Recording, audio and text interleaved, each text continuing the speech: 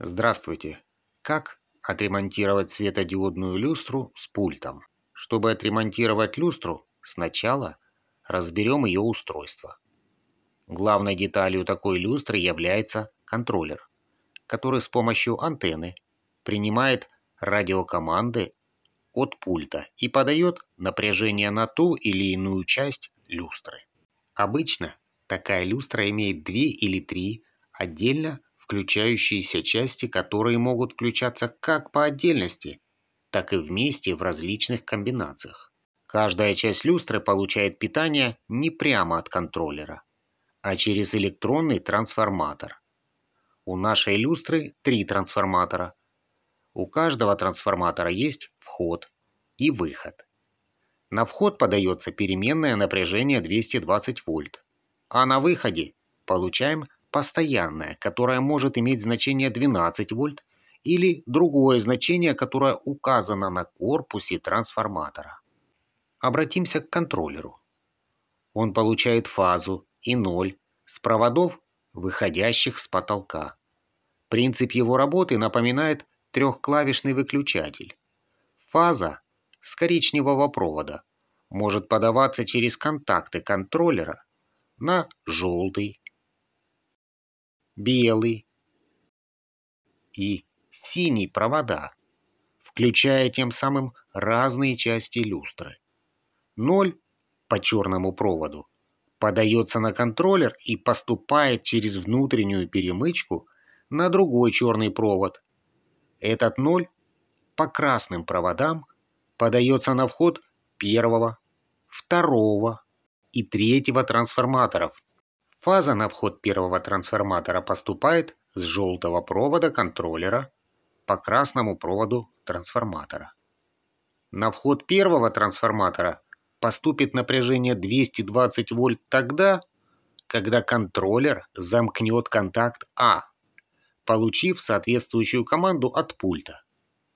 Фаза на вход второго трансформатора подается с белого провода контроллера по красному проводу трансформатора а фаза на вход третьего трансформатора подается с синего провода контроллера по красному проводу трансформатора. Аналогично фаза с белого провода по команде пультом подается на второй трансформатор, а с синего на третий трансформатор. Синие провода с выхода первого трансформатора подают постоянное напряжение на одну часть люстры. Синие провода с выхода второго трансформатора подают постоянное напряжение на вторую часть люстры. С третьего трансформатора постоянное напряжение подается на третью часть люстры. Таким образом, подавая команды пультом, можно подавать постоянное напряжение на разные части люстры. Итак, люстра с пультом, ремонт. Ситуация первая. Если люстра с пультом не включается совсем.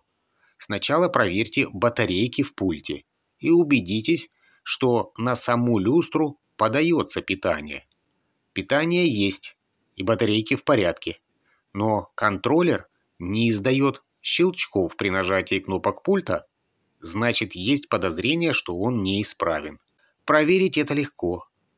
Отключите питание люстры автоматом. Подайте 0 и фазу на вход всех трансформаторов. Подайте питание на люстру. Все части люстры включились?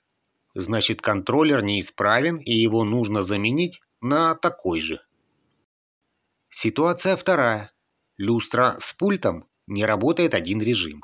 Сначала проверьте исправность ламп на этом режиме. Если лампы исправны, то отключите питание люстры автоматом. Подайте 0 и фазу на вход всех трансформаторов. Подайте питание на люстру. Если все режимы включились, то неисправен один из выходов контроллера, который подает питание на эту часть люстры. Нужно менять контроллер, либо подключить трансформатор неработающего режима к любому исправному выходу контроллера.